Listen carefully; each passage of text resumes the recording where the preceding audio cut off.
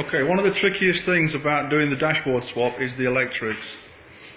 Um, it's fairly simple.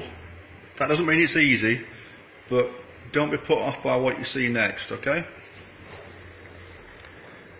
okay, what you've got there, when you take the old dashboard out, that's pretty much what you're going to be left with. Looks like R2D2 and C3PO have got into a bit of a fight. But to be fair, it's pretty pretty straightforward if you just make sure that you number and mark every single thing that you take off. As you're taking the old dashboard out, there'll be connectors, there'll be switches, wires, lights, all sorts of things. Just make sure everything's numbered.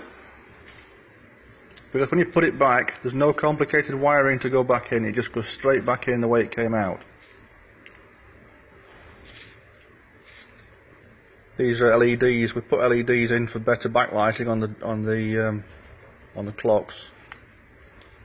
But apart from that, it more or less stays pretty much as it is. Things to look out for. You'll have three switches down here: demist, uh, fog, could be interior light, depending on what you've got, and a hazard.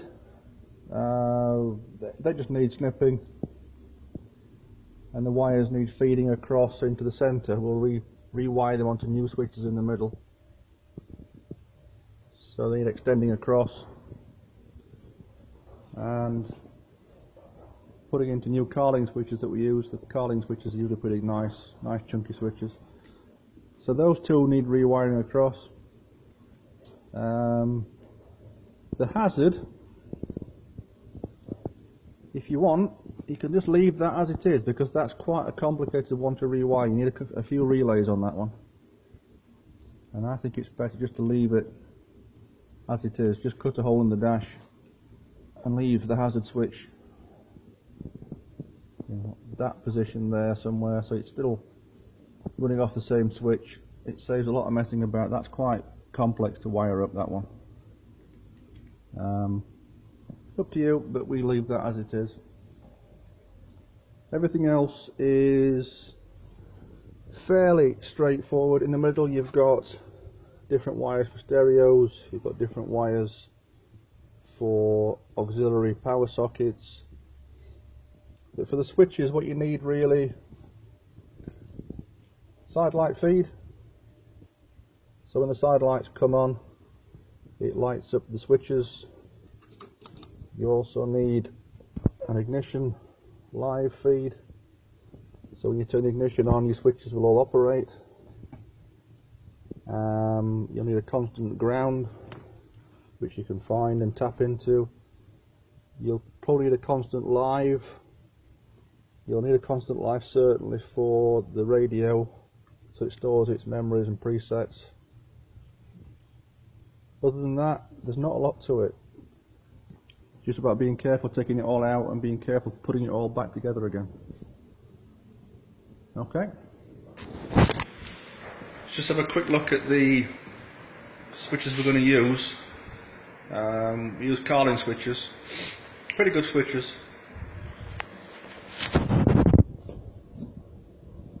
That's one heated seat which we're putting into this one. Uh, fog light two-speed fan which replaces the lever, rear wash wipe, rear demist, another heated seat. These have got loops across. Um, some of them require double earths, so rather than running two earths, just run one earth in and then spur it across. Just saves a bit of time. Pretty basic stuff, but if you haven't done it before, it's a, it's a handy tip. That's your fan which needs two powers in. So again, just spur it across, connect one in. Uh, we're putting a USB charger into this one, which we're going to tap into the cigarette lighter feed for that one. Uh, different surrounds.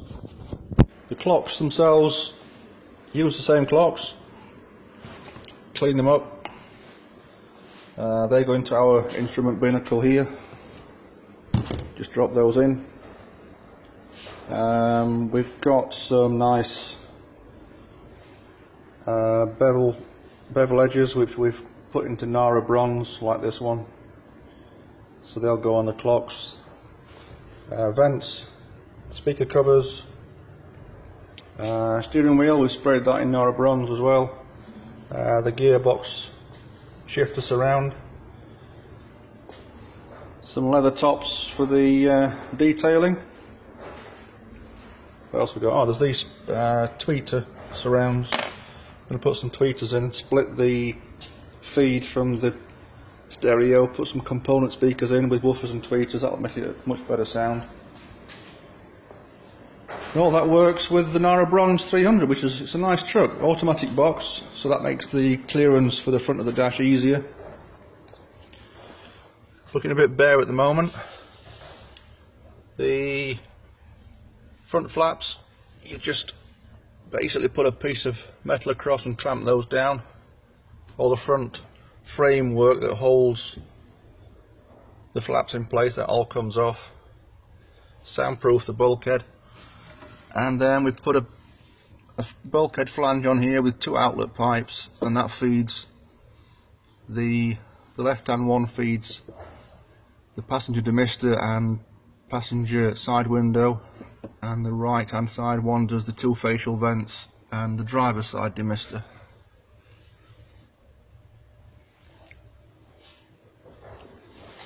Looks a mess but that's probably about 70% there. I'm going to get the speakers wired up first, do all the switches, all the wiring so it's all central. Once that's done we'll put the dashboard in. Don't put the dashboard in before you've done all that. It'll be a nightmare to work on. You can't get to anything. That's about it. Looks easy, more to follow.